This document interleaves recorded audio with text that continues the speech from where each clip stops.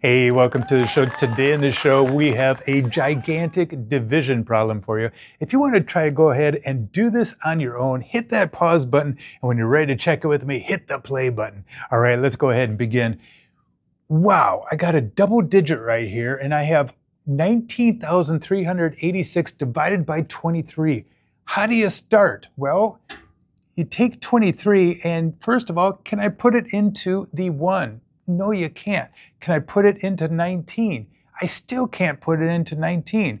Can I put 23 into 193? You can do that, but I don't know how many you can, uh, how many 23s you can put in there. So how do you do it? You're going to start doing a little figuring on the side. So I'm going to put 23 right here, and I'm going to multiply it by, let's try maybe 5. So I'm going to times it by 5. So 5 times 3 is 15. Carry the 1. 5 times 2 is 10. Plus the 1 would be 115.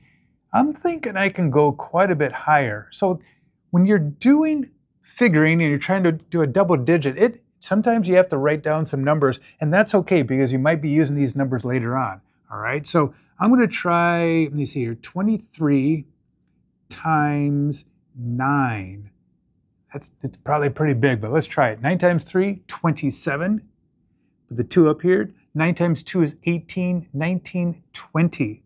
That is too high. We got to bring it down there a li little bit. So let's try, let's try 23 times 8.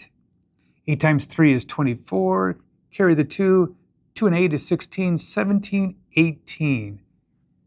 I think that's the one right there because if I went one higher, it's 207. So it's going to be 23 times 8.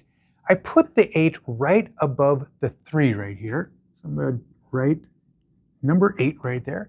8 times 23 would equal 184. Now I need to subtract.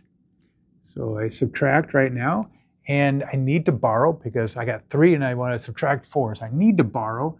So I cross off the nine, make that an eight. This will be a 13. 13 minus four is, yeah, that's right, nine. So then I bring down the next number right there. So add a little beatbox in there.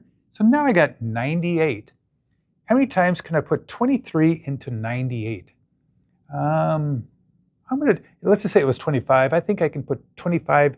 Um, yeah, let's try three times. Let's try three times. So right over here, I'm going to take 23 times 3. So 3 times 3 is 9. And 3 times 2 would be 6. So I have 69. Let's go just up a little bit more here. Let's try, and I know it's not 5, Let's try 23 times 4. So 3 times 4 is 12. Carry the 1. 4 times 2 is 8. Plus the 1 is 9. That's it. This is the one right here. 23 times 4. So now I'm going to put 4 right here. And then 4 times 3 is 92. Or 4 times 23 is 92. And I go ahead and subtract. 8 minus 2, what is it? 6. All right, so we put 6 right there. Now I'm bringing down the next number. Just, just drop it down. Just drop it down. All the way down here. Yeah, 66. There used to be a highway uh, I lived near, Highway 66. How many times can I put 23 into 66? Do I have anything over here? Right there. Look, 23 times 3 is 69. Too high. So I I'm figuring it's going to be 23 times 2. Now, can you do 23 times 2 in your head? I bet you can. You see 3 times 3, or 3, 23 plus 23 would be 46.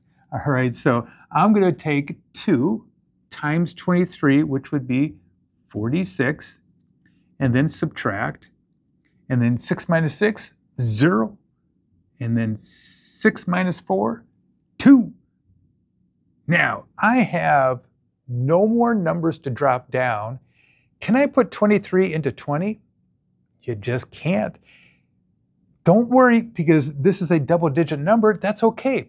That will be our remainder. So we put R right here. R.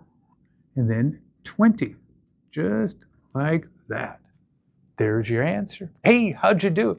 I hope you're having a great day out there. Hey, you see that link right up there? That's a link to my new channel called Dino Math. On that channel, we have everything related to dinosaurs and some mathematics. I'm putting animations uh, up there pretty soon, and we even have Beyblade X's. It's a fun show. We're having a great time on it. Sure appreciate if you can go over there and hit that subscribe button to that channel, also to the one right here. Oh, I'd sure be happy. Hey, I hope you're having a great day out there. We'll talk to you later. Adios. Goodbye.